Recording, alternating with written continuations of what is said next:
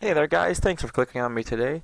Um, I just bought the AverMedia RC Central or Rec Central um, Live Gamer HD capture card and here's the little button that comes along with it.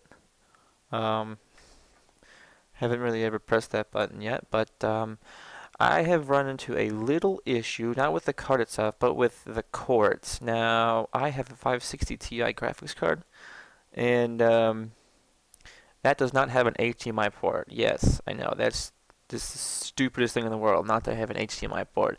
It does have a mini HDMI port, but I don't have an HDMI to mini HDMI cable. So, I had to use the DVI to HDMI converter that it comes with and plug that into the back of my monitor with the HDMI cord. Now, I have plenty of HDMI cords. The problem is I don't have enough HDMI ports. My monitor does not have one, and my graphics card does not have one, so I have to use converters. So this video is to show you how to hook it up using just converters and DVI, and it's very simple. The one thing I don't have right now is a um, DVI to DVI cord. I do not have the white cord that way, or so right now I cannot capture my desktop. So that's a big letdown, and DVI to DVI cables are like 30 bucks or 24 bucks. Um, uh, the 30 buck one is the converter, the little thing this wide that has the DVI to HDMI. Um, but the actual long cable is expensive. So I'm not going to buy that unless I can find a decent price or just buy it from China, uh, whatever. Um, but I do not have a I do not have a webcam or I have a webcam so I'm going to use that and show you guys what my setup is. I'm going to be a, a, little bit farther away from my microphone so you won't be able to hear me. But so far, the only thing you need, um, if you don't have HDMI equipment, is converters. So let me take my headset off. You won't be able to hear me, but you'll be able to see exactly what I have set up in the back now.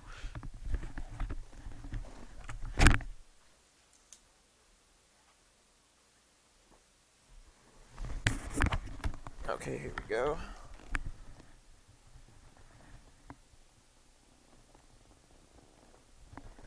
Alright, now this is um, just the, the uh...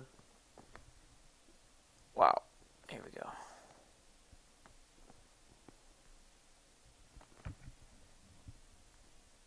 Okay, so that's the HDMI in and out, and this is the graphics card, it's a 560 Ti. Um, pretty shitty. Well, it's 200 bucks and it doesn't have an HDMI port, that's terrible. Um, it does have the mini HDMI port you can see right there. And I wish to God that that was HDMI otherwise I wouldn't have to use this converter. This is the converter right here the HDMI to uh, uh, DVI to HDMI and um, it's kind of terrible. Yes this is a $156 monitor 20 inch but I, it's still VGA and it, I had to use a converter that came with the 560 Ti all these converters are fucking insane. But the one thing you do need to, do need to know is that um, if you have a setup like this, the one thing that you just need to make it all work is the white DVI to DVI cable. Um, I'm gonna have to buy that, or buy a new monitor, or buy a new graphics card. But the cheapest way is to go for another another converter just like this, um, black and uh, has the HDMI port at the at the back end of it. So that is this this video was just to show you um, if you're having troubles with all the all your cords and the shit, to just get that one. Now they do come with um, a female DVI plugin, but um, it does not connect to um, a regular DVI converter. You can see that blue, uh, blue and the black that's plugged into each other. I unplugged that thinking that I could plug in the female um, female end of the DVI that came with it to the graphics card or to the capture card excuse me and um, that's not possible because the female end is um, female end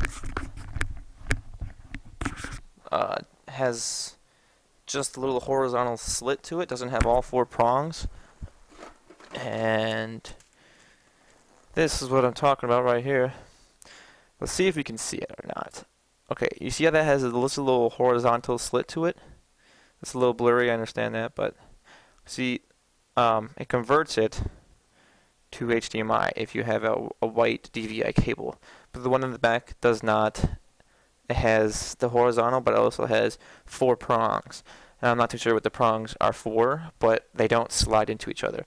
So you can't use this if you're using a converter to DVI to VGA. So that's terrible. Um, the one thing they should have done was just add another HDMI uh, to DVI converter, the black one. Um, that would have fixed everything, but now I gotta go out and spend more money.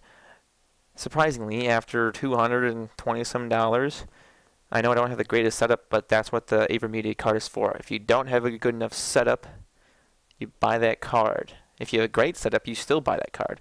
But my CPU is just terrible. It's it's an AMD A8 accelerated processor, um, quad core.